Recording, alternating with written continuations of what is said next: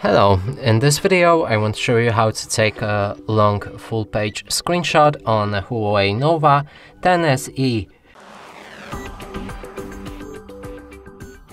And to do this we'll need to open up uh, some apps that allow us to see all of uh, the scrollable page. Then click on the screenshot button, it's a power key and volume down key at the same time. Then click on the screenshot pop-up that shows up after clicking.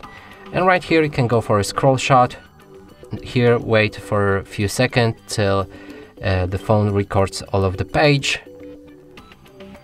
And click on the screen. It should stitch the full page screenshot and now you can see that entire page. And that's it for this video, hope you like it, please consider subscribing to our channel, leave a like and a comment below.